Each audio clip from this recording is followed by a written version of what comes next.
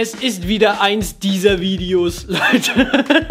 Mick redet wieder über Musical-Übersetzung und taucht viel zu tief in die Materie ein und untersucht Wortwahl, Wortstellung, Übersetzung und was all das für das gesamte Stück bedeutet. Ich war bei der allerersten Aufführung von Hamilton auf Deutsch, bei der Preview am 24. September, hab Hamilton aber auch schon 17 Mal in London gesehen und hab daher einen ganz guten Vergleich, würde ich sagen, wie die deutsche Übersetzung im Vergleich zur englischen ist, was wir gewinnen, was wir verlieren, wie wurden die Themen übersetzt, was sind meine Highlights? Was sind neue Anspielungen, die dazugekommen sind, die es vorher nicht gab? All das diskutieren wir jetzt hier. Also let's go.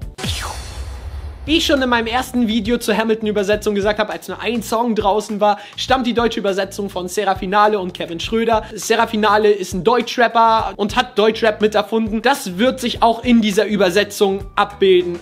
Wait for it. Wait for it. Kevin Schröder hat Musicals wie Fuck You Goethe getextet, aber viel wichtiger natürlich Blond, was eine der aller, aller, aller, allerbesten deutschen Übersetzungen überhaupt in der deutschen Musical-Geschichte hat. Das heißt, ich war natürlich sehr, sehr hyped auf diese Übersetzung und alles, was man vorab gehört hat, es wurden ja schon einzelne Clips released, wie zum Beispiel Alexander Hamilton.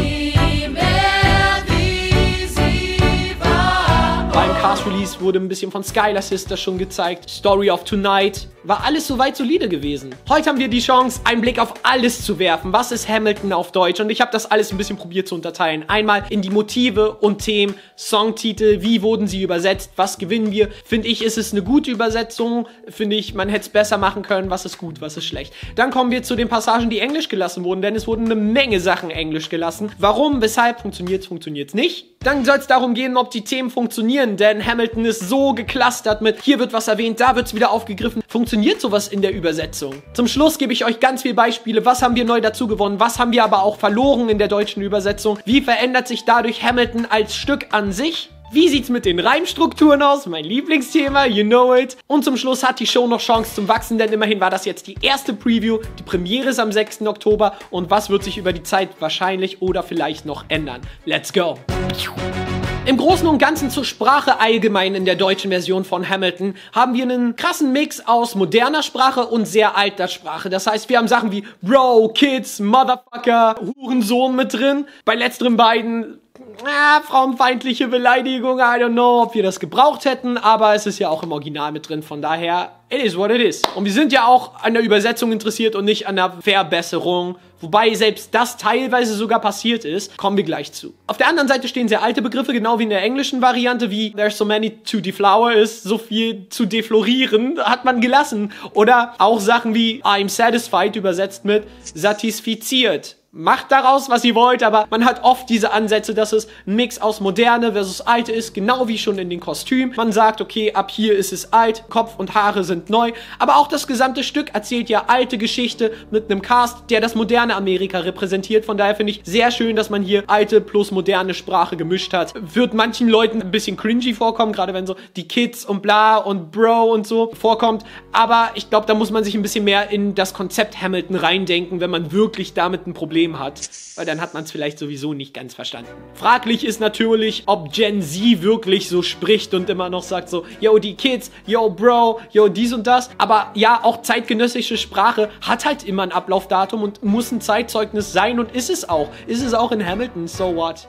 Als nächsten Punkt gibt's die Masse an Text in den ganzen Kriegsszenen, allen politischen Sachen, die sind sehr textlastig und ich glaube für die meisten beim ersten Mal gucken schwer verständlich oder schwer folgbar. Aber auch da wieder ist es wirklich ein Lost, denn im Englischen ist es genauso. Du hast so viele Sachen, die so verknüpft und um die Ecke gedacht auch ausgedrückt sind, dass selbst Amerikaner und englischsprachige Leute in London Probleme hatten beim ersten Mal einem zu folgen. Aber Hamilton, sage ich jedes Mal, ist auch kein Stück, dass du einmal guckst, rausgehst und sagst so, gut, jetzt lass was essen gehen und der Abend ist vorbei.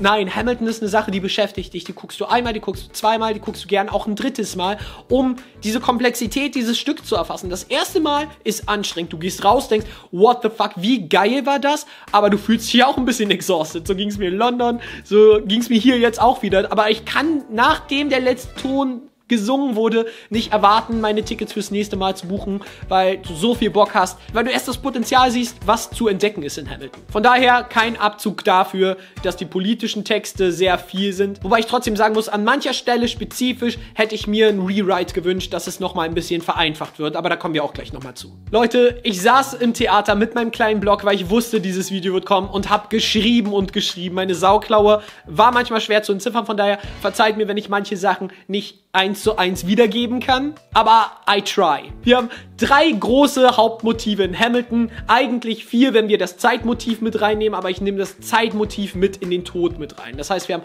Tod, Story, Legacy. Das heißt Death, Story, Legacy. Wie gut wurden diese Themen übersetzt und ziehen sie sich durch? Das Death-Motiv ist offensichtlich, das ist das, was Hamilton immer wieder vor sich hin mobelt, wenn er einen ruhigen Moment hat. So. Ich erinnere mich so oft an den Tod, dass er sich anfühlt wie eine Erinnerung.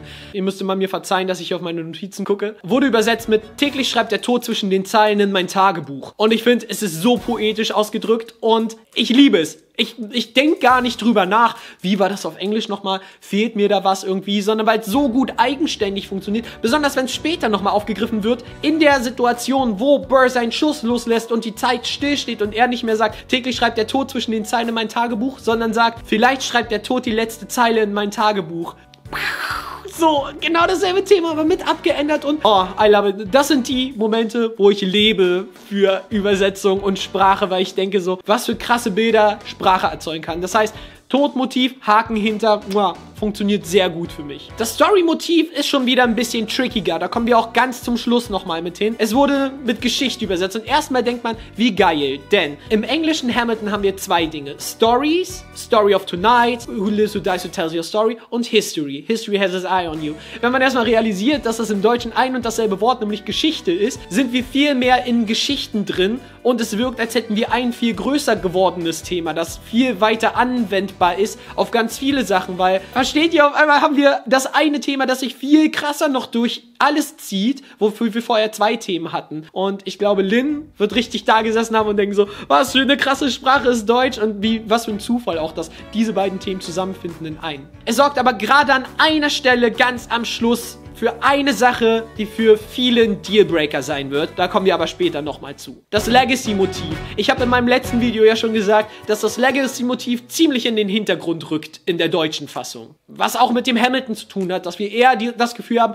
Hamilton jumpt von einer Sache zur nächsten und ist die ganze Zeit richtiges ADHS-Kind, das irgendwie hyper-focused von einer Sache auf den nächsten und dadurch immer viel bereut, was er getan hat, aber wenig den Gedanken nach vorne richtet. Und selbst im Death-Motiv bleiben wir die ganze Zeit in der Gegenwart, obwohl es in der englischen Variante eigentlich Teil des Legacy-Motivs ist. I imagine death so much it feels more like a memory. Das heißt, ich stelle mir den Tod schon so oft vor. Das heißt, das ist ja meine Legacy. Was wird nach meinem Tod übrig bleiben? Wie wird mein Tod mich ereilen? Habe ich bis dahin genug geschafft? Darum schreibt er, als wäre die Zeit nie genug so. Das fällt weg, wenn wir sagen, täglich schreibt der Tod zwischen den Zeilen in mein Tagebuch. Da sind wir wieder eher in meinem Tagebuch. Alles, was gerade passiert, ist bestimmt wir haben es kind of drin, aber es ist nicht mehr so dieses nach vorne gedachte, sondern eher in der Rückschau spielt der Tod eine Menge so, habe ich heute genug getan? Ist das genug? Aber es fehlt so ein bisschen die Weitsicht und dadurch wird das Legacy-Motiv sehr, sehr abgeschwächt. Auch Legacy. What is a legacy? Wo wir nochmal klar sagen, das ist das, worum es die ganze Zeit geht, wurde übersetzt mit Vermächtnis, mehr als Wagemut. Das heißt, wir, gehen gar nicht nochmal drauf was Legacy. So, Full Stop, wir sind jetzt bei Legacy angekommen. What is a Legacy? Über diesen Part wird praktisch hinweggerannt mit Vermächtnis, mehr als Wagemut. Und dann geht's weiter, weiter, weiter. Es ist halt ein Wort, das zwischendurch fällt. Und das ist ein Teil der Übersetzung, der mir an ganz vielen Stellen aufgefallen ist, dass Vermächtnis nicht mehr so die große Rolle spielt. Es ist ein Wermutstropfen, muss ich ganz ehrlich sagen. Ich will es auch nicht schönreden reden, denn Legacy war eins der wichtigsten Themen für mich persönlich, warum Hamilton so viel für mich bedeutet hat. Also für mich als Künstler auch, weil das natürlich für mich auch eine super Rolle spielt, so in meinem Animationsding als Storyteller. Welche Geschichten erzähle ich? Was möchte ich, dass später von mir übrig bleibt? Und das geht ein bisschen unter. Ich sag nicht, es geht verloren, aber es steckt zwischen den Zeilen immer noch, wie der Tod zwischen den Zeilen ins Tagebuch schreibt. Aber es ist harder to spot und es ist weniger in your face. Gehen wir weiter in die Songtitles, die immer wieder thematisch wiederholt werden und sozusagen quasi Motive sind. Not Thrown Away My Shot ist, glaube ich, ein super Beispiel, was übersetzt wurde mit Habt nur diesen einen Schuss, was erstmal geil klingt, weil Schuss auch diese Doppeldeutigkeit hat. Zum Beispiel gibt es diese Stelle, wo er sagt, gib mir noch einen Schuss ins Glas, so, ne? also ein Schuss Alkohol im Glas am Anfang bei den Sounds of Liberty. Aber du kannst auch gut drauf reimen, wenn Aaron Burr sagt, you're gonna get shot. Kannst du machen, dann ist da Schluss. Schuss, Schluss. Du hast immer noch denselben Reimflow, es funktioniert sehr gut. Was nicht sehr gut funktioniert ist, diesen einen Schuss, denn in der Zeit, not thrown away my, kannst du halt viel schneller zusammen sagen als diesen einen Schuss. So wird es jedes Mal, wenn es gesungen wird, zu hab nur den einen Schuss. Ich hab nur diesen einen Schuss. Mann, ich hab nur diesen einen Schuss. Ich bin Alexander Hamilton. Hamilton, Mann, Und das wirst du vielleicht in der ersten Reihe nicht so hören, aber sobald du ab Mitte der Stalls bist, wirst du im gesamten Saal nur noch hören, habt nur den einen Schuss. Wenn ihr da seid, achtet drauf, es ist nur, habt nur den einen. Und dann bringt es auch nicht zu sagen, wir haben diesen, weil wir sagen, habt nur diesen einen, weil das diesen wird so verschluckt, dass es übrig bleibt, habt nur den einen Schuss. Und du bist, habt nur den einen Schuss oder habt nur zehn einen Schuss. Ich war so verwirrt am Anfang, bis ich das rausgefriemelt habe, mit dem Englischen verglichen, habe die Silben gezählt, weil ich so verwirrt war. Ich wünsche, sie hätten einfach da einmal auf die Silben geschissen und hätten gesagt so, ich hab nur den einen Schuss statt ich hab nur den einen.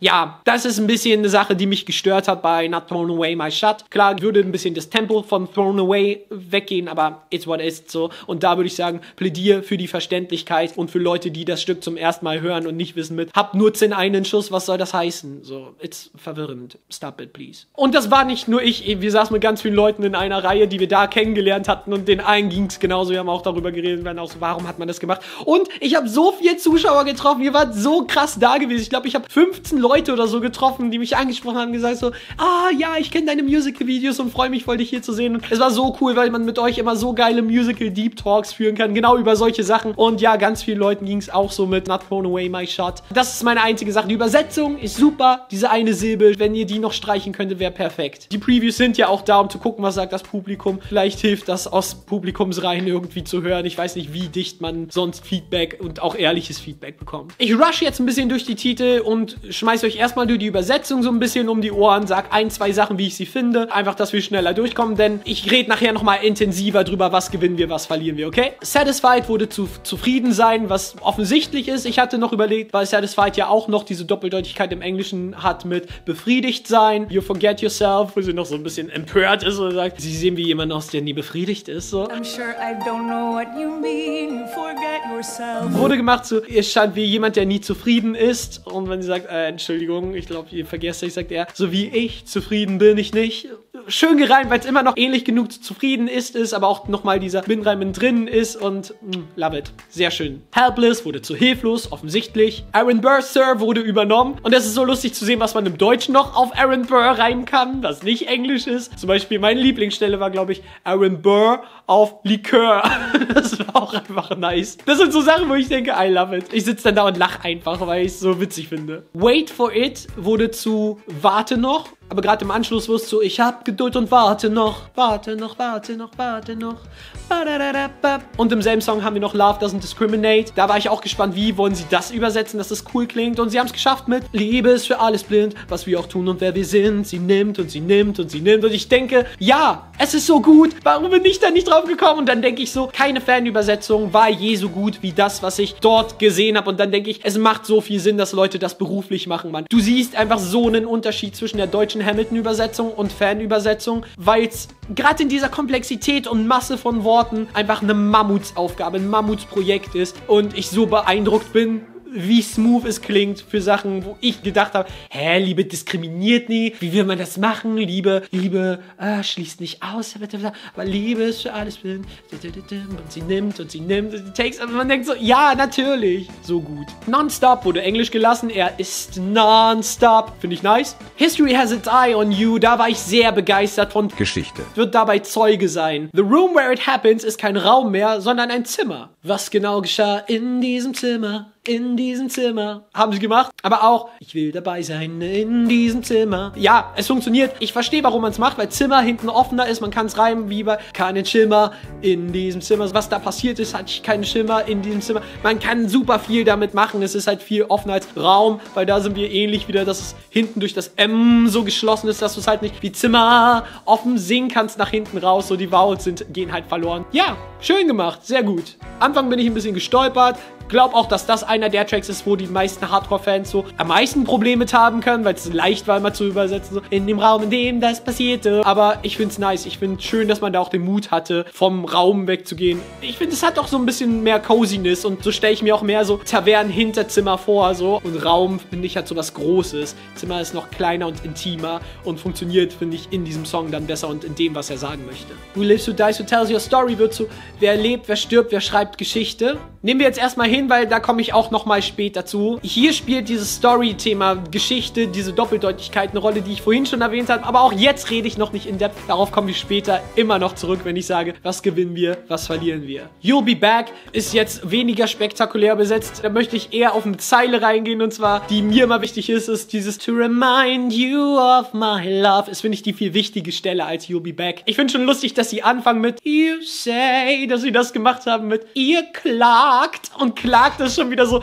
unterstellend lustig. Man lacht einfach viel mehr als in der englischen Version schon bei You say. Denkt man, okay, was kommt? Aber schon wenn der anfängt mit Ihr klagt, ist das so King George und da gewinnen wir schon so. Ich wollte noch gar nicht dazu kommen, was wir gewinnen, was wir verlieren, aber hier gewinnen wir mit dieser Übersetzung und auch bei To remind you of my love wurde übersetzt mit Dann haben wir uns wieder lieb. Und das ist so lustig einfach, weil es wirklich noch mehr diese pathetic kindliche Ansicht von King George widerspiegelt, wie er auf die Welt guckt und trotzdem diesen Liebesaspekt von diesem, er behandelt Amerika wie sein Liebespartner. Also als hätten die jetzt einfach nur eine schwierige Zeit und eine Trennung hinter sich und so. Und wie er davon redet, es macht es so lustig. Auch wenn er gerade davon redet, so, dann töte ich all eure Freunde und Verwandten. Dann haben wir uns wieder lieb. Das ist einfach so lustig, man wirklich Tränen gelacht dabei. Teach me how to say goodbye ist Abschied nehmen und weitergehen. Ich weiß nicht mehr genau, ob es Abschied nehmen und weitergehen ist oder weitergehen und Abschied nehmen. Ob so rum oder so rum. Ich finde es okay, es funktioniert ganz gut. Es gab nur eine Stelle, wo alles so leise wird und dann Hamilton ja nochmal singt so. Und dann singt Hamilton so rein so Teach me how to say goodbye.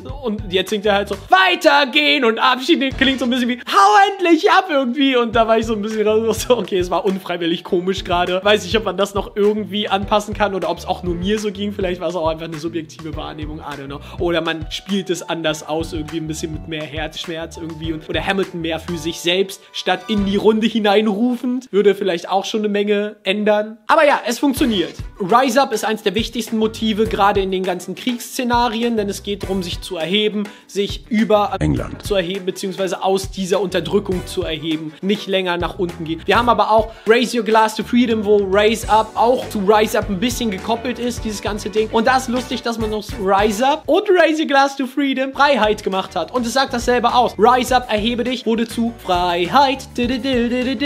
Freiheit, das ist das, was wir wollen, die Freiheit. So, ja, es funktioniert. Und auch Raise Your Glass to Freedom ist, heb dein Glas zur Freiheit. Da haben wir auf einmal das Rise, das jetzt zur Freiheit wurde, bei Raise Your Glass mit drin und nicht verloren und haben trotzdem die Freiheit mit drin bei Heb dein Glas. Wir haben nicht mehr dieses Erheben ganz klar ausgesprochen, aber ich finde, Freiheit ist ein gutes, gleichwertiges Bild, was funktioniert. In den meisten Fällen. Zum Beispiel bei Rise Up, Rise Up, Ice Up wurde zu frei sein, gleich sein, eins sein. Da wir nicht dieses Eyes Up, obwohl es wichtig wäre für Hamiltons Augenmotiv, weil Hamiltons Augen ja Angelica Eliza gefesselt hatten. Das heißt, hier die Eyes Up, dass er nach oben guckt und nicht mehr benutzt, um andere einzulullen, sondern zu schauen, was liegt oben und was liegt auf der anderen Seite. Wurde trotzdem beibehalten, weil dann kommt ein kurzer Blick in die andere Welt und da sind wir wieder bei seinem Blick, in dem Angelica und Eliza hängen geblieben sind. Wenigstens bleibt mir noch sein Blick, was Angelica am Ende von Satisfied singt ein meisterhaftes Puzzle neu zusammengepuzzelt, dass man denkt so krass. Wobei Rise Up aber was verloren geht, meiner Meinung nach ist,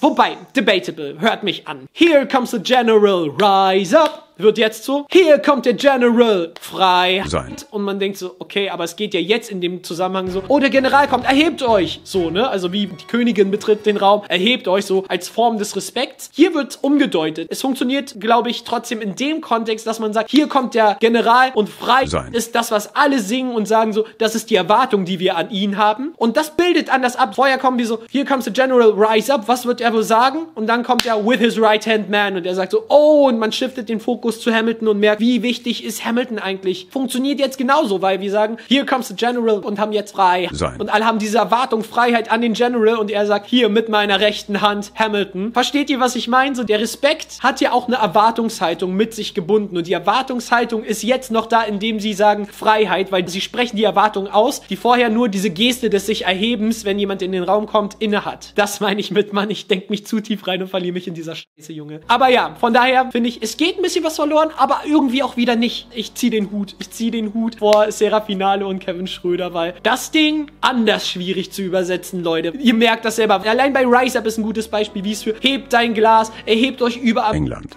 steht auf, wie man das mit Freiheit übersetzen kann und trotzdem in den Passagen, wo es unzulänglich ist, den Text danach oder davor so, so mit verändert, dass nichts verloren geht, weil es trotzdem im Kontext Sinn macht. So, das waren erstmal die Titel, die ich für übersetzungswürdig halte und die ich mir notiert hatte und wo ich sagen würde, okay, das war das Spannendste, wie sie es übersetzt haben. Welche Sachen haben sie englisch gelassen? Greatest City in the World haben wir schon gehört bei Skylar Sisters, das war ja auch beim Cast Release schon gezeigt worden. Aber sie haben auch englisch gelassen, Talk less, smile more. Dann ist aber so lustig, dass Hamilton selber sagt so, auf gut Deutsch, und er das nochmal übersetzt für den Zuhörer und sagt, weniger reden und mehr lächeln, seht euch vor. Und das ist so nice, dass sie dann aber trotzdem Talk less, smile more durch seine Knappheit beibehalten werden kann, weil wir haben es einmal etabliert am Anfang. Das heißt, auch zum Schluss kann er dann gehen, wenn Burr rumgeht und sagt so, äh, ich will, dass alle für mich voten, kann er weitergehen mit Talk.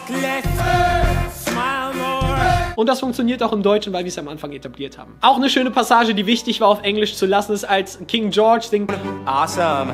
Wow. weil das ja typisch amerikanisch ist. Ich finde, es kommt im Deutschen sogar noch besser rüber, wenn er sagt so, oh, ihr seid jetzt frei. Awesome. Wow, ihr krassen Amerikaner. Im Englischen singt er ja die ganze Zeit Englisch und der Witz kommt nur, wenn man weiß, awesome und wow sind so typisch amerikanischer Slang und hebt sich dadurch ab vom britischen. Und wenn er das sagt, ist es eher mocking gemeint, also so, um sich über die Amerikaner als Brite lustig zu machen, funktioniert es im Deutschen so viel eindeutiger und dadurch auch viel lustiger, weil es so unerwartet kommt, dass er jetzt dieses amerikanisch auspackt irgendwie. Unglaublich funny. Von daher super Choice, das auf Englisch zu lassen. The World Turns Upside Down haben sie auf Englisch gelassen.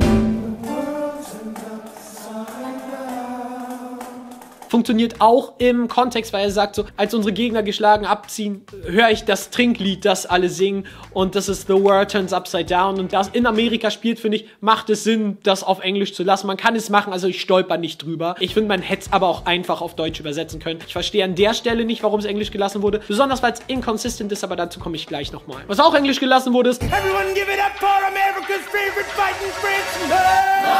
Und ich weiß nicht warum, vielleicht weil es zu schnell ist, das sonst zu machen oder dieses Everybody give it up for man auch im Deutschen kennt irgendwie, wenn jemand vorgestellt wird in irgendeiner Show. Jeder wird irgendeine Art von Halftime-Show bei den Super Bowls schon mal gesehen haben oder irgendwo, wo jemand vorgestellt wurde in einer internationalen Show und da ist es immer dieses Everybody give it up for bla bla bla bla bla. So. Und von daher stolper ich auch nicht drüber. Gerade da muss man noch, noch mal sagen, wir gehen ja in dieses Stück mit dem Wissen, wir sehen amerikanische Geschichte. Von daher macht es absolut Sinn, englische Einwürfe beizubehalten, um uns dran zu erinnern, dass wir hier über amerikanische Geschichte reden. Von daher absolut kein Problem mit englischen Einwürfen. Gerade da, wo sie nicht tragend fürs Verständnis sind und auch den Flow beibehalten und auch immer ein versöhnliches Angebot für die Hardcore-Fans sind, dass man sagt, okay, wir haben uns bemüht, auch einen Mittelweg zu finden, so für iconic Lines, die trotzdem gleich bleiben. Wo ich ein bisschen gestolpert bin, ist bei Immigrants, We Get the Job Done, was kind of Englisch gelassen wurde, dann aber auch wieder nicht. Ich finde, Immigrants verstehen wir auch im Deutschen, weil es dem Wort Immigranten sehr krass ähnelt. So, also wenn jemand sagt, Immigrants, we get the job done oder übersetzt es komplett. Aber was gemacht wurde, ist, wir haben einen ziemlichen Run. Einwanderer, we get the job done.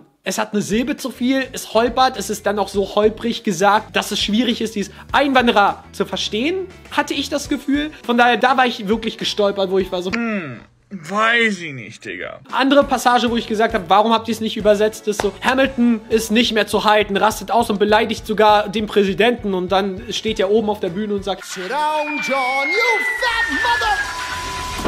Eins zu eins übersetzt, wobei man auch hätte sagen können, so, halt mal die Luft an, John, du verdammter, verfickter da, und dann irgendwas piepen und runter. Aber es hätte gut funktioniert und ich glaube, es wäre wichtig fürs Verständnis zu verstehen, dass er ihn beleidigt. Fat Mother Peep versteht man auch, aber verstehen es alte Leute? Und da denke ich so, das hätte man auf Deutsch machen können. Es gibt ja genug Kontext, dass sie es einordnen und sagen so, Hamilton hat den Präsidenten beleidigt und so weiter. Es wird ja gesagt, aber warum, warum diese Stelle auf Englisch lassen? Das hat für mich nicht so Sinn gemacht. So, kommen wir zum ersten Zwischenfazit und das ist, funktionieren die Themen, die Übersetzungen, der Titel, die Wiederholungen? Ich würde sagen, zu 90% ja. In einzelnen Fällen stolpert man ein bisschen. Und in anderen Fällen sind die Themen inkonsequent. Wenn ich als Hardcore-Fan weiß, hier müsste das Thema reprised werden und es wird da nicht gemacht oder ein Thema, das später aufkommt, wurde hier anders gesungen. Beispiel. The World Turns Upside Down. Ich habe ja gesagt, ich komme darauf nochmal zurück. Das Trinklied, das sie singen, The World Turns Upside Down, wird auf Englisch gesungen. Aber am Anfang, wo Hamilton das in Yorktown schon singt,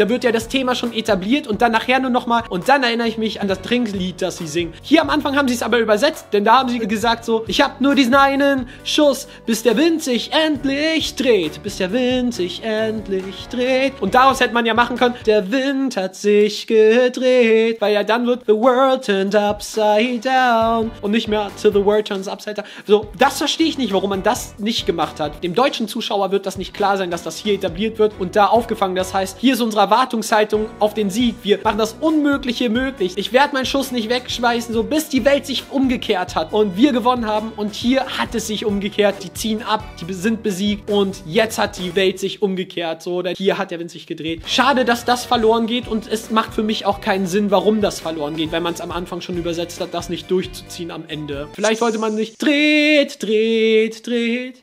Ja, es muss was mit dem Fluss zu tun haben, dass man gesagt hat, okay, man will, weil The World turns upside down, dass ja nachher down, down, down, Freedom for America, Freedom for France, dass man da nicht geht mit dreht, dreht, dreht. Die Welt steht plötzlich Kopf, Kopf, Kopf. Hätte man machen können, weil Ham- Hamilton ein verkopfter Mensch ist. Ich probiere es gerade zu verargumentieren, was die Alternative gewesen wäre. Oder am Anfang werft man den Schuss nicht fort to the world turns upside down. Ist halt auch weird, ne? Also, ja, je länger ich drüber nachdenke, es macht Sinn und es ist ein kind of schweres Rätsel. Aber ich wäre dann, glaube ich, lieber mit so, und wir stellen die Welt auf den Kopf dahin gegangen. Aber debatable. Aber das meine ich mit Inkonsequenz der Themen, wo in der Übersetzung ein bisschen was verloren geht. Anderes kleines Beispiel ist Satisfied. Satisfied wird ja in sehr, sehr unterschiedlichen Varianten benutzt und auch erforscht. Das heißt, sexuelle Unbefriedigtheit, aber auch glücklich sein You will never be satisfied. in Bezug auf seine Legacy, glücklich sein in einer. Beziehung. Du wirst niemals zufrieden sein. Zufrieden sein einfach, ne? Also diese Zufriedenheit in sich selbst. Dasselbe haben wir ja auch im Krieg so. Glücklich über einen Sieg sein, das erste Mal in den Krieg gewinnen und daraus Energie schöpfen, weiterzumachen. Und das ist der Moment, wo John Lawrence im Duell mit Charles Lee sagt, nachdem er ihn erschossen hat oder angeschossen hat, I'm satisfied. Und das ist der Moment, wo er stellvertretend für Hamilton diese Satisfaction spürt und Hamilton dabei ist, weil er geht ja für Hamilton in den Kampf. Und wir merken, ah, das ist so der Moment, wo er Zufriedenheit oder eine Erfüllung aus diesem Krieg zieht. Und das der erste Tropfen ist, wo er Blut leckt über Triumph im Krieg, das sich ja durchzieht bis zu Yorktown. Das wurde hier jetzt aber nicht mehr übersetzt mit zufrieden, so wie am Anfang in satisfied, sondern mit satisfiziert. Er sagt legit statt I'm satisfied, steht er auf und sagt satisfiziert. Und denkst du, was? Erstmal kann niemand mit dem Wort was anfangen, wenn du nicht uralt bist. Ich verstehe, man will da das Altdeutsch wieder mit reinbringen und so. Aber du verlierst halt auch das Thema, so, weil es ist ja im Deutschen nicht satisfiziert, sagt ja nicht. Du bist niemals satisfiziert, satisfiziert. So, es ist ja im Deutschen zufrieden sein. Warum geht da das Thema zufrieden sein verloren? Man ist nicht mit irgendwas in Richtung zufrieden gegangen. So, irgendwas hätte man da sicher gefunden. Das ist eine Sache, die mich ein bisschen sad macht. Ähnliche Inconsistency ist Work. Work hat man übersetzt mit läuft. Habe ich auch schon Leute Stimmen gehört, die damit unzufrieden waren. Ich finde es aber unglaublich lustig mit läuft. Eliza, ich will nimmer bei dem, was läuft. Bei dem etwas hier oben läuft. Dann wird es aber inconsistent in Yorktown, wo sie auch kämpfen und singen. Im Englischen. In der deutschen Variante haben sie auch Work gelassen und nicht gemacht läuft, obwohl läuft gepasst hätte, denn es ist ja kurz vor dem Sieg von Yorktown, bevor er rauskommt und das weiße Taschentuch zieht, um zu symbolisieren, dass sie aufgeben. Das heißt, man hätte machen können, läuft, läuft. Aber gesungen haben sie, wenn ich mich nicht verhört habe. Ich bin mir aber zu 99% sicher, dass es dabei Work gelassen wurde. Inconsistent. Von daher, ja, die Themen funktionieren in 90%. Ich würde jetzt fast nach oben korrigieren in 95% der Fälle, weil, wie gesagt, auch immer sich bemüht ist, eine Alternative zu finden, das neu aufzugreifen. Aber das Legacy-Motiv ist weniger dominant und einzelne Abweichungen sind inkonsequent. Das ist mein Fazit zu den Themen und Übersetzungen inhaltlich gesehen. Und das ist krass, wenn man sich überlegt, ich habe das ja schon mal gesagt, wir müssen nicht nur übersetzen, wir müssen singgleich bleiben. Wir haben auch diese unglaublich krasse, unlösbare Puzzleaufgabe, die Lin-Manuel Miranda gemacht hat, indem er hier was einstreut, was da aufgegriffen wird, was dann eine Wichtigkeit da hat und hier von einem anderen Blickpunkt betrachtet wird. So. Und das auf Deutsch zu schaffen und das in 95% der Fälle solide und absolut gut zu schaffen,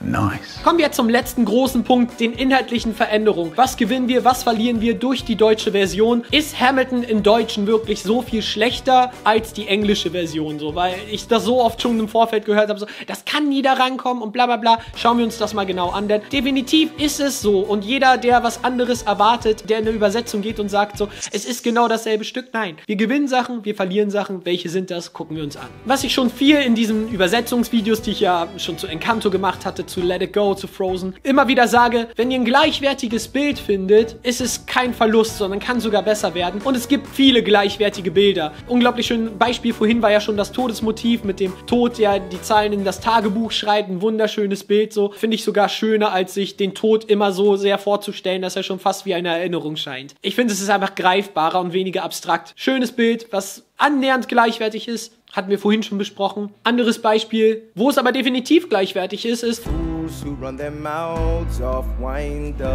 Was ja eigentlich heißt, Idioten, die den Mund nicht halten können, werden sterben. Was übersetzt wurde mit Vögel, die viel zwitschern, stopft man aus. Was super geiles Bild ist und so viel besser funktioniert und Leute wirklich gelacht haben. Also es war richtig Gelächter im Publikum. Was ein zusätzlicher Joke ist, wo man denkt so, oh, hat er nicht gesagt so. Weil es auch ein bisschen wie eine Drohung wirkt so. Aber auch in Burrs Charakter mit reinspielt und nicht verloren geht, dass er Angst um sein Leben hat, wenn er zu viel redet. Genau das bleibt beibehalten, aber wir kriegen so viel greifbarer in der deutschen Version. Nice. The Reynolds Pamphlet habe ich vorhin bei den Titeln übersprungen, weil ich hier nochmal was dazu sagen wollte. He's never gonna be president now übersetzt sich ja mit jetzt kann er kein Präsident mehr werden oder jetzt wird er nie Präsident werden. Wurde übersetzt mit der Traum vom Weißen Haus ist nun aus. Wir haben Traum, aus, haben Haus, haben da viel mehr Reimstruktur drin und es klingt geil, lässt sich schön singen, ist ein gleichwertiges Bild, was metaphorischer ist. Ich hatte ein bisschen Probleme, das zu verstehen, weil ich wieder so viel verglichen habe und dachte so, was singen die da? Wo ist der Präsident? Was ist das? So, wenn man mit der Haltung rangeht, hatte ich ein bisschen Verständnisprobleme. Vielleicht kann man da auch noch mal ein bisschen an der Deutlichkeit arbeiten oder so, aber es ist ja auch sehr Ensemble getragen. Da hat man die wenigsten Muttersprachler drin, aber He's never gonna be president now mit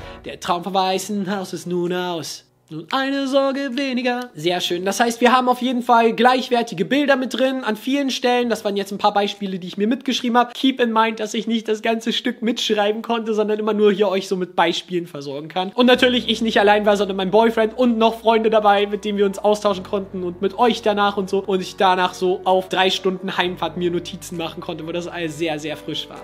Wo wir was Neues gewonnen haben. Tada, wo verlieren wir, wo gewinnen wir und ist es besser oder schlechter? Das Geile ist, das haben wir sogar ja schon vorab veröffentlicht bekommen, auch wieder beim Cast-Announcement, wo viele Leute sich lustig gemacht haben. Ich habe das auf Tumblr gesehen, das Zitat mit so, oh my god, I can't, why have they? Bei I'm a trust fund, baby. You can trust me. Trust Fund Babies sagt man hier nicht so. Trust Fund Babies ist halt so Kinder, wenn Eltern für ihre Babys schon Trust Fund eingesetzt haben, also so Wertanlage, dass die nachher reich werden, das spricht halt dafür, so ich bin abgesichert, du kannst mir vertrauen, so ich habe eigene Kohle und das zeigt, dass Burr besser gestellt ist als Hamilton und er nicht wegen dem Namen hinter ihr her ist. Im Deutschen hat man es ein bisschen savanda gemacht und hat gemacht, Schieß mich über den Haufen. Doch, du bist ein Baby, ich möchte ein Badewasser saufen. Und alle sind so, hä, es hat gar nichts damit zu tun. So absurd, warum sollt ihr das sagen? Ich find's super lustig, weil gerade dieser Ladies Man durchkommt. Wenn Burr nachher sagt so, what do we have in common? We're reliable with the ladies. Haben wir davon nicht viel gesehen, außer diese Stelle. Und das jetzt mehr thirsty zu machen, finde ich super gut. Und was viele nicht auf dem Schirm haben, ist, dass es halt eine Deutschrap-Referenz von 1995 ist, von einem Sabrina Settler-Song mit Rödelheim Hardrein-Projekt aus Ja klar. Auf zu babbeln und zu schnaufen. Du bist ein Baby, ich möchte dein Badewasser saufen. Und sowas wird uns öfter begegnen und ich find's gut, denn was viele nicht wissen in Deutschland, so, weil viele hier nicht diese History mit American Rap haben, dass Hamilton voll ist mit englischen Anspielungen auf Tupac, auf diese ganzen alten Rapper, Oldschool-Rapper, die du nicht übersetzen kannst und wo einfach was verloren gehen würde. Also diese Zeilen aufzufüllen und mit deutscher Rap-History zu füllen, finde ich mega smart und mega lustig, weil es richtig viele Leute abholt und das praktisch auch mit zum Übersetzerjob gehört. So, worauf hat der Originalautor Wert gelegt? Kann ich es übersetzen? Nein, was ist ein deutsches Pendant? Und das sind in diesen Fällen Deutschzeilen und deutsche Callbacks zu legendären Zeilen. Und ohne Scheiß, ich kenne diesen Line noch aus meiner Kindheit. Da war ich sechs, sieben Jahre oder so, als ich das gehört habe und war so, oh mein Gott, darf man sowas sagen? Und fand das sehr verboten und ganz viele. Ja, it's an iconic line und schön, dass sie drin ist. Not thrown away my shot habe ich ja schon eine Menge zu gesagt und ich sag noch mehr dazu. Wir haben nur diesen einen Schuss zu, ich werf meine Chance nicht weg. So, ich werf meinen Schuss nicht fort. So. Äh, übersetzen würdest du halt das nicht mit Schuss. Es ist schön, dass my shot, also meine Chance, im Englischen diese Kriegsbedeutung hat. Im Deutschen haben wir den Schuss draus gemacht. So. Und haben damit den, das Wort Chance verloren. Zu sagen jetzt, ich habe nur diesen einen Schuss bedeutet, ich habe nur diese eine Chance. Ich bin nicht sonderlich privilegiert. Ich habe nur diese eine Chance und dadurch empathieren wir viel mehr für Hamilton und sind viel mehr auf seiner Seite, haben aber auch weniger Compassion für Eliza und bleib doch hier, hör doch auf. Wenn er aber sagt, ich habe nur diese eine Chance, dann ist das, was sie sind reich, sie sind privilegiert, sie können das nicht wirklich nachvollziehen, so. Wobei Hamilton in der englischen Fassung sagt, so, ich werfe meine Chance nicht weg und er hat die Wahl. Man hat viel mehr das Gefühl, es ist immer seine Choice, immer sich selbst über alle anderen zu wählen, so. Not thrown away my shot heißt viel mehr, ich gucke auf mich und es ist mir wichtig, meine Legacy durchzudrücken und auf mich gerichtet zu sein. Wenn er nonstop Angelica und Eliza links und rechts von sich hat und sagt so, beide so abschüttelt, ist das so, nein, ich habe die Wahl, aber ich wähle mich. I am Alexander Hamilton and just you wait. Das ist ihm das Wichtigste. Aber wenn er sagt so, ich habe nur diesen einen Schuss, ist so viel mehr Verzweiflung da drin. Ich habe nur diesen einen Schuss. Ich bin Alexander Hamilton. Ich bin dieser eine Mann und habe immer gesagt, ich werde diese Chance nutzen und kann die nicht aufgeben. Das ist, glaube ich, die Sache, warum man so viel mehr Compassion mit Hamilton hat und er weniger der Villain in der Geschichte ist als in allen amerikanischen Fassungen. Weil er ist eine viel mehrdimensionalere Figur in der amerikanischen Fassung, in dem Sinne, dass wir Hamilton mehr hassen. So, Hamilton ist zwar der Hauptcharakter, aber er ist, finde ich, für mich auch eher der Villain. Da kommt auch gleich noch eine Stelle, die das in der englischen Variante sehr deutlich macht, die in der deutschen Variante aber glatter ist, glatter gebügelt und wir genau das da auch so ein bisschen verlieren. Warum Hamilton eher ist in der deutschen Fassung und in der englischen more of a villain oder more of a twist villain, Redemption Arc kind of guy. In My Shot gibt's auch noch diese Gay-Line, Lawrence, I like you a lot, die ja nur mit drin ist, weil Hamilton, der Original Hamilton und Original John Lawrence, sehr viel Gay-Talks miteinander hatten. Dafür gibt's ein ganzes Video, es dokumentiert, was für homoerotische Briefe die beiden sich geschrieben haben. Und Lynn selbst bestätigt hat, dass diese Line drin ist, um darauf anzuspielen. Die geht, finde ich, ein bisschen verloren, weil sie wurde übersetzt mit Lawrence geht ab wie ein Gott. Es ist schon ein bisschen diese Appreciation da, aber es geht diese Gayness flöten, finde ich. Und das fehlt mir natürlich als Gay-Person, die Representation sucht irgendwie, selbst sei es nur in dieser einen Line, wenn sie flöten geht. Besonders wenn später auch noch Werke zitiert werden, die sehr homophob sind. Weiß ich nicht, ob das dann so klug war, dann diese einzige Gay-Line rauszuschreiben. Oder wenigstens Bi-Line, ne? Ich will nicht sagen, Hamilton war schwul gewesen, aber es gibt ja definitiv biromantische oder bisexuelle Bezüge, wenn ich einem anderen Typen sage so, hey, du weißt doch, wie mein Cock aussieht und ich brauche niemanden sonst wie dich. It's another video. Kommen wir zu Winter's Ball. Wenn Burr sagt, wenn du eine der Skylar Sisters nimmst, bist du reich, Mann. Und Hamilton antwortet, Is it a question of if Burr? Ist es eine Frage des Wenns oder welche? Impliziert Hamilton, dass er auf jeden Fall eine nimmt, er weiß nur noch nicht welche. Haben wir in der deutschen Version, kriegt man so eine, dann regnet es Scheine. Ich bin dabei, doch warum denn nur eine? Impliziert ja hier in der deutschen Fassung, dass er sich nicht auf eine festlegen wird. Nicht, dass er noch nicht weiß, welche er nehmen will, sondern dass er sich nicht festlegen will, dass er nur eine nehmen wird, sondern vielleicht auch mehrere. Und das ist ja Foreshadowing für diese ganze Triangle Love Story zwischen Angelica, Eliza, den beiden Schwestern und ihm. Von daher gewinnen wir da was. Nämlich ein bisschen Foreshadowing. Und trotzdem bleibt die Cockiness erhalten von Hamilton. In Satisfied haben wir die Ben Franklin Geschichte Gott sei Dank raus. Was ja eigentlich die Geschichte ist. Ben Franklin hat laut Legende beim Gewitter einen Kite, also einen Drachen genommen, einen Metallschlüssel rangehangen und den steigen lassen, um zu sehen, ob der Schlüssel den Blitz anzieht. Und die Sache, die das zeigt in Hamilton, wenn Angelica das anbringt, ist zum einen, ich habe mich in die Nähe von Hamilton begeben, um zu sehen, ob da Spannung zwischen uns ist und ob diese Elektrizität zu spüren ist. Und ja, sie ist zu spüren, denn ja, der Blitz schlägt in den Schlüssel ein und sie spürt die Elektrizität. Es ist sehr verkopft, aber es zeigt auch, Angelica ist eine sehr belesene Frau, was ja später auch nochmal wiederkommt. Und auch schon in Skylar Sisters, wenn sie von We hold these to be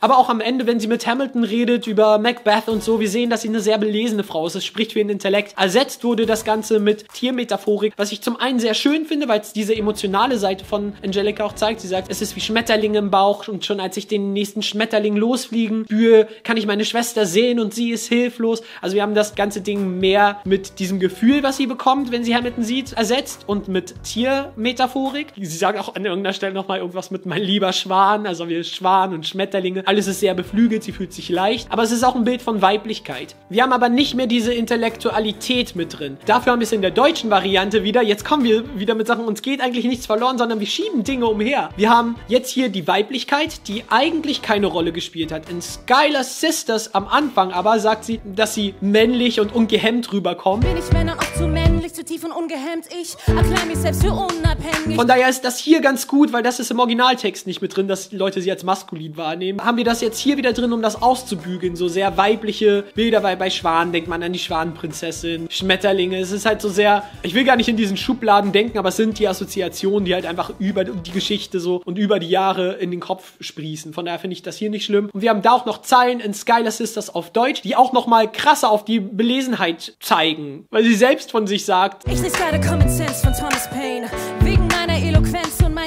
Und es darum nicht schlimm ist, dass wir es in Satisfied jetzt nicht so betonen, weil es ja auch der Moment ist, in dem sie eher emotional redet. Auch wenn sie so schnell redet, dass all ihre Gedanken sich in ihrem Kopf vermischen, weil sie so in Love ist, finde ich es da gut, dass man da vereinfacht hat. Und ich habe immer gesagt, diese Ben Franklin-Geschichte, raus damit. Weil sobald ich anfange, mich damit zu beschäftigen, in meinem Kopf, was meint sie damit, habe ich schon verloren, weil sie so schnell denkt. Und das zeigt ja auch, dass sie gleich ist wie Hamilton. Sie synchronisieren in dieser Art, schnell zu denken und dem ist leichter zu folgen, wenn einfach es eindeutiger ist. Von daher, dieser Kampf zwischen Emotion und Wissen ist ein sehr ausgeglichener, nur neu verteilter in Angelica in Satisfied. Andere Stelle in Satisfied, in der es um ihre Schwester Eliza geht und auf die habe ich auch schon in meinem letzten Video, in dem Cast-Video angespielt, dass uns hier ein bisschen was verloren geht. Haben wir im Englischen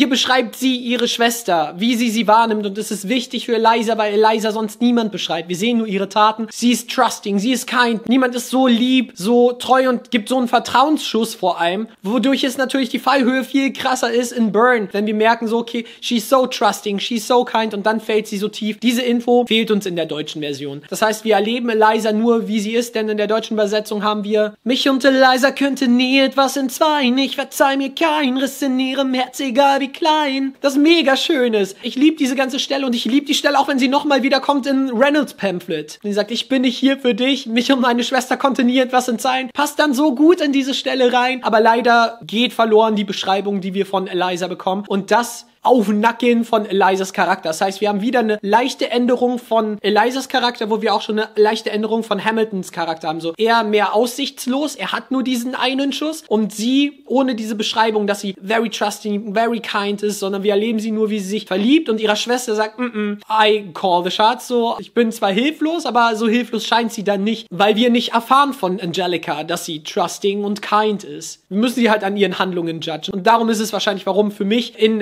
Hamiltons und Elizas Beziehung es wirkt, als hätte Eliza die Oberhand in der deutschen Fassung. Kommen wir wieder zur neuen deutschen Anspielung und die hatten wir in Story of Tonight, wo Aaron Burr auf die Brothers of Liberty trifft und sagt, the whole gang is here, sagt er jetzt die Fantastischen Vier. Und das ist funny, weil die Fantastischen Vier ist ein altes, iconic Rap-Quartett und ja, da haben wir das wieder, dass wir zurückbringen, deutsche Rap-History, nice. Bricht nichts ab, sagt dasselbe, macht's noch lustiger als the whole gang is here. Auch generell, wo sie am Anfang schon sagen so, Raise a glass to the four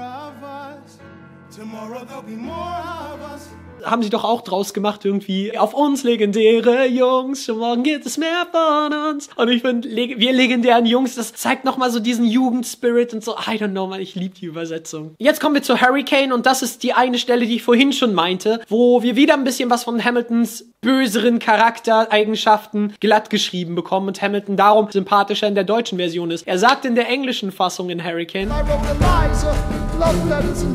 Und das wirkt so narzisstisch manipulativ, dass er sagt so, ich habe alles bis hierhin geschrieben. Er sagt ja, ich habe mir den Weg aus der Hölle rausgeschrieben. Durch mein Schreiben habe ich alles geschafft. Das ist ja kurz bevor er sein Reddit-Pamphlet schreibt und gesteht, dass er diese Affäre hatte und sagt so, ich bin an alles gekommen, was ich immer wollte. I wrote Eliza love letters until she fell und das wirkt so berechnet, dass man denkt so, du kleiner Arsch, hast die ganze Zeit rumgeflirtet und on top einfach auch noch mit ihr angebändelt, sehr bewusst. In der Übersetzung wurde es zu,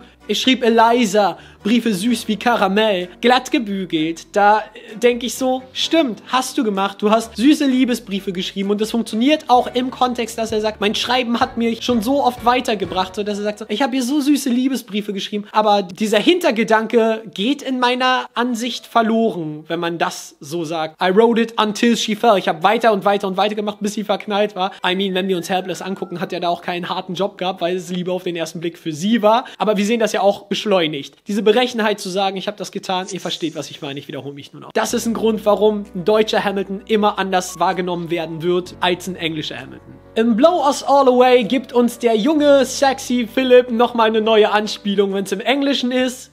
The scholars say I got the same virtuosity and brains as my pops. The ladies say my brain's not where the resemblance stops. Es ist in meinen Augen immer eine sehr sexuelle Anspielung auf die Größe seines Gemächts. Ich weiß nicht, wie ihr es gelesen habt. Schreibt's bitte in die Kommentare. Aber für mich, was ich hyper creepy finde, wenn der Sohn sagt, hey, alle sagen, ich habe so einen fetten Kopf wie mein Vater. I don't know why you would do that. Aber übersetzt haben sie das auch gar nicht, sondern die letzte Zeile gekickt und dafür eine neue reingeholt, auch aus einem sehr sexuellen Song, nämlich von STF featuring Kool Savas. Auch wieder von 1999 das Teil, ihr müsst noch üben, die Line. Habt genauso ein Naturtalent wie Dad, nur mit Cash. Ey, ich kann sagen, was ich will, denn ich seh gut aus und bin fresh. Ich find's nicht so geil, dass man aus dem Song gequotet hat. Ich finde, es funktioniert, weil es nur dieser Snippet ist und auch so diese Selbstverliebtheit ausdrückt. Aber weiter im Song geht's halt mit homophoben Lines wie das. Du bist schwul und streichst deinem DJ die Rosette. Oder vorher auch mit frauenfeindlichen Lines wie das.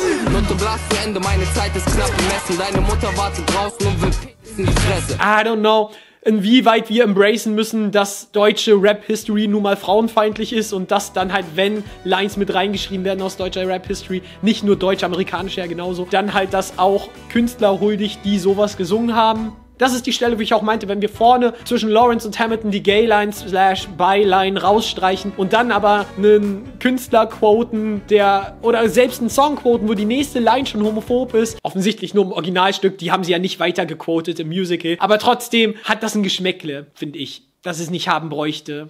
I see, I see, und es wird nichts genommen, es wird was Neues hinzugefügt. Das ist eine Anspielung auf Rap History von 1999. Und Cockiness ist immer noch da und ich finde es auch besser, als würde er singen. Ich habe so einen fetten wie mein Dad. In the World is Wide Enough gibt's viel klarere Amerika-Kritik, wo er kurz bevor er singt, America, you great unfinished symphony you sent for me. kommt jetzt was mit Amerika gebaut auf Sklavenblut oder sowas. Ich weiß nicht mehr genau, den Wortlaut habe ich mir nicht notiert, weil ich einfach in Awe war, als dieser Monolog kam, war so, äh, konnte nicht schreiben. Aber das fand ich sehr schön, weil Hamilton ja heute auch viel in der Kritik steht, dass mit dem ganzen Sklaventhema zu lapidar umgegangen wurde. Da nochmal ein großes Lob auch an das Acting von Charles Simmons, denn er hat wie im Pro-Shot auch bei der Stelle, wo Eliza singt, ich habe mich gegen Sklaverei ausgesprochen, sich verbeugend und beschämt weggeduckt.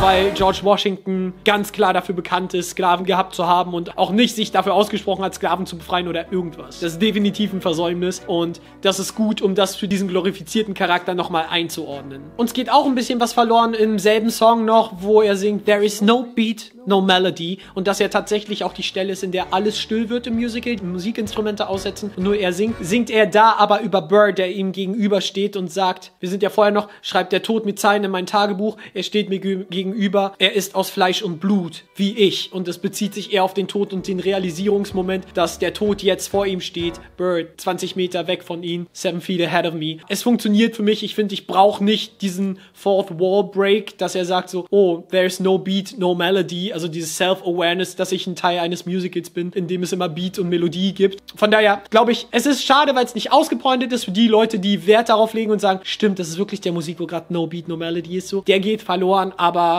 dafür haben wir auch diesen weirden Fourth Wall Break nicht mehr mit drin. Und jetzt kommen wir zu der einen Sache, die ich schon im Hauptthema angesprochen hatte, dieses Who Lives, Who Dies, Who Tells Your Story, die Doppeldeutigkeit der Motive, wo wir bei Geschichte sind, wie schön das Story und History ein und dasselbe Wort im Deutschen sind mit Geschichte, aber gerade am Ende verliert es an Bedeutung, weil in dem wichtigen Moment, wo Eliza sich fragt, Who Lives, Who Dies, Who Tells Your Story, nachdem sie erzählt hat, Angelica und ich und dein Sohn haben all deine Briefe gelesen und probiert uns um deine Legacy zu bemühen. Und ich habe das Washington Monument bauen lassen und Geld dafür gesammelt und das Waisenhaus und und und und mit allen Kriegern, die neben dir gekämpft haben, gesprochen. Und ich hatte nie genug Zeit. Und wenn es dann darum geht, aber wer erzählt deine Geschichte jetzt weiter, ist das Ende von Hamilton? Ja, dass es heißt, Who lives, who dies, who tells your story, sie Hamilton im Jenseits trifft und er sie nach vorn zum Publikum führt, sie das Publikum sieht und realisiert, das Publikum, alle, die gerade hier waren, realisieren, dass alle die werden weitergehen und meine Geschichte kennen und Hamiltons Geschichte kennen. Das heißt, they live, they die, but they also tell my story. Und das geht verloren, wenn man sagt, wer lebt, wer stirbt, wer schreibt Geschichte. Weil wenn Hamilton sagt, wer lebt, wer stirbt, wer schreibt Geschichte und sie dreht sich um, ist dieses wer schreibt Geschichte auf das Publikum zu münzen sehr hoch gegriffen. Zu sagen so, they tell your story definitiv, denn wir erzählen sie ja weiter, so wir die Mundpropaganda, aber schreiben wir wirklich Geschichte, weil unter Geschichte schreiben ist ja doch nochmal was anderes gemeint, nämlich was viel hochtrabendes, was viel bedeutungsvolleres, als einfach nur die Geschichten weiter zu erzählen. Ne? Also Geschichten erzählen und Geschichte schreiben sind zwei verschiedene Dinge. Sie haben probiert, das ein bisschen zu fixen. Das Ensemble im Hintergrund singt Deine Geschichte. Dann dreht sie sich noch einmal, wer schreibt Geschichte. Das zeigt mir, sie waren sich auch bewusst, dass sie da gerade verkacken, so ein bisschen. Und das ist definitiv eine Sache, wo ich verstehen kann, okay, das ist ein Dealbreaker für mich, weil auf diesen Moment haben wir hingearbeitet in Elisas gesamten Arc, in diesem gesamten Stück, dass sie sagt, Frauen haben nichts zu sagen, Frauen sind Stimmen, Frauen in der Geschichte verstummen, sind nur dazu da, Männergeschichten zu erzählen und dann aber, dass sie da steht und realisiert, alle haben jetzt auch sie gesehen, so sie hat sich zurück in die Geschichte geschrieben und all diese Leute sehen das und es war nicht umsonst gewesen. Sie wird nicht unsichtbar sein. Es ist ja nicht ohne Grund, dass das Stück Hamilton heißt und nicht Alexander Hamilton. Es geht um die Hamiltons. Es geht genauso um Eliza wie um ihn. Und darum gibt es diesen Moment am Ende. Und der ist leider wirklich ein bisschen verkackt. Ich würde sagen, der ist 70 von 100 Prozent. Der ist halt nicht eine Vollkatastrophe, aber den Hauptmoment, der ja immer noch up for interpretation ist, ihr Gasp, lassen Sie ihn jetzt weg, weil ich habe ja gehört, so, wer lebt, wer stirbt, wer schreibt Geschichte, dachte ich, das passt gleich nicht. Das wird gleich nicht passen. Dann habe ich zwar das Ensemble gehört mit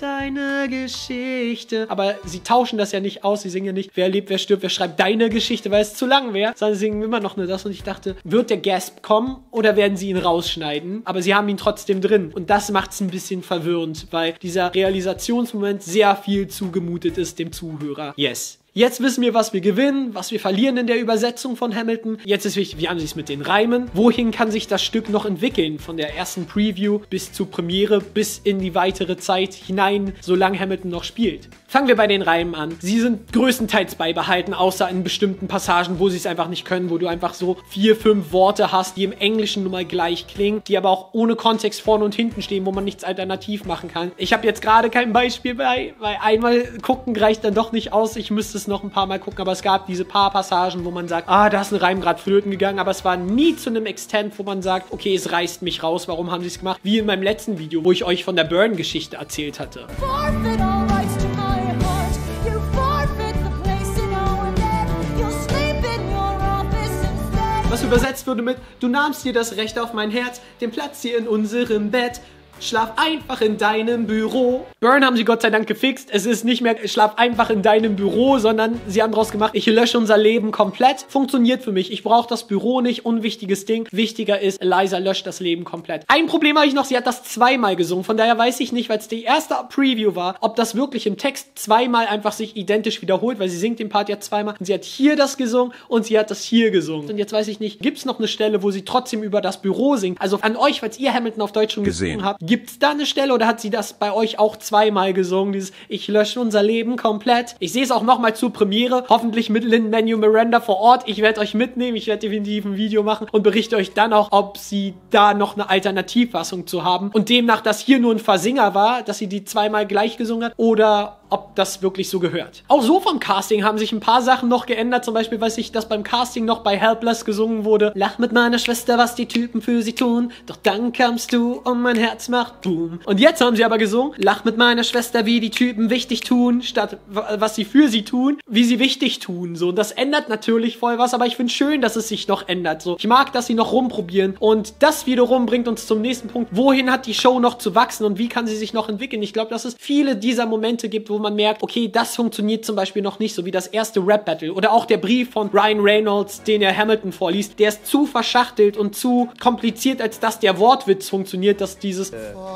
Sinn macht oder dass man weiß, okay, er meint im Deutschen muss noch viel mehr dieses Blick draus gearbeitet werden. Es ist noch zu viel reingekrampft. Das ähnliche im ersten Rap-Battle. Die Rap-Battles in general wirken nicht so savage wie in der englischen Version, weil es noch sehr inhaltsbasiert ist. Ich hoffe, dass da gerade im ersten Rap-Battle, das zweite war wirklich relativ safe gewesen, auch wenn man nicht so diese Oh, Savage Line-Feeling hat. Das hat man am Ende vom ersten Rap-Battle schon, aber in Jeffersons Part, der verkackt leider. Weil ganz kurz irgendwie so, fühlst dich wie Cinderella auf der Suche nach dem Schuh oder so, nur ganz kurz in einer Line und nachher kommt ja dieses Band over, I show you where my shoe fits. Aber weil es so kurz verarbeitet ist, diese Cinderella-Line und so viel drumrum gestellt, die funktioniert leider noch nicht. Aber wie gesagt, ich hoffe, da ja gerade noch viel dran gearbeitet wird, dass sich da auch noch in den nächsten Wochen, Monaten ein bisschen was tun wird, textlich. Und bin natürlich sehr gespannt, weil ich habe euch auf Instagram gefragt, wer hat schon Ticket und 25% der Leute hatten schon Tickets. Das sind definitiv 75% so viel, die noch keine haben. Von daher checkt definitiv den Link in der Beschreibung aus und gönnt euch Tickets. Und wenn ihr schon welche habt, Gönnt euch nochmal Tickets. Es reicht nicht, Hamilton einmal zu sehen. Mein Fazit ist nämlich, Hamilton auf Deutsch, als absoluter kranker Fan, der wirklich 17 Mal in diese Scheiß-Show gegangen ist und bestimmt 10 Mal davon 200 Pfund Tickets gekauft hat, um ganz vorne erste Reihe zu sitzen, um alle Nuancen des Spiels, wie die Charaktere zusammen funktionieren, aufzusaugen. Dieser kranke Fan sagt euch, die deutsche Version ist worthy, definitiv worthy und es ist gelungen, Hamilton auf Deutsch umzusetzen. Und es ist genau das gleiche OG-Gefühl, wenn ihr geht, wie damals, als ich 2000 2017 das erste Mal Hamilton im West End gesehen habe. Und auch auf Instagram lese ich das so oft von Leuten, die am Broadway waren, äh, am Broadway waren, am West End waren, dass sie sagen, es ist wie das erste Mal Hamilton wieder erleben und man kann nicht warten, bis man zurück ins Theater kommt. Das heißt, gönnt euch so viel Tickets, wie ihr könnt und euer Geldbeutel zulasst. It's phenomenal. Es macht Spaß, einfach Hamil-Trash-Leute zu treffen und gerade über diese Änderungen zu reden. Und wie geil ist es, dass wir das können. Dass wir das erste Land sind in der Übersetzung und wirklich über diese Sachen hier so diskutieren können. Ich bin super gespannt, wenn ihr es gesehen habt, was sind eure Lieblingsänderungen, Lieblingszeilen aus der Übersetzung? Habt ihr noch Fragen, wie andere Teile übersetzt wurden? Dann auch ab damit in die Kommentare. Ich habe noch ein paar mehr Notizen, habe mich jetzt aber auf die wichtigsten Sachen konzentriert und trotzdem war das Video so unglaublich lang, Mann. Ich krieg nicht genug, Mann. Ihr kriegt noch ein extra Video von der Premiere. Ich bin sehr gespannt, ob Lynn da sein wird und was ich euch dann da noch zu berichten kann und auch, ob es da noch mal einen Sprung dollen gab in diesen Preview-Wochen, die jetzt ja nur dazu da sind, auszutesten vor Publikum, was funktioniert funktioniert und so weiter. Auch wie die Schauspieler sich verändert haben. Ich bin so gespannt, Leute. Und wenn ihr diesen Content hier feiert, dann unterstützt mich sehr gerne auf Patreon oder klickt hier das Thank You, denn es ist wirklich schwierig, so in-depth Video für so eine kleine Community zu machen, denn ich glaube, es gibt nicht so viele Leute, die wirklich so gerne mit Liebe in Musicals und in Texte und Übersetzung reindiven. Aber wenn du das gerade guckst, bis hier, dann bist du einer davon. Und dann bin ich sehr happy. Falls du kein Geld habt zum Unterstützen, dann gerne auch ein Abo und teilt das Video mit euren Hamilton-Freunden und Musical-Freunden. Und wir sehen uns bis dann, Leute. Haut rein. Chihuahua!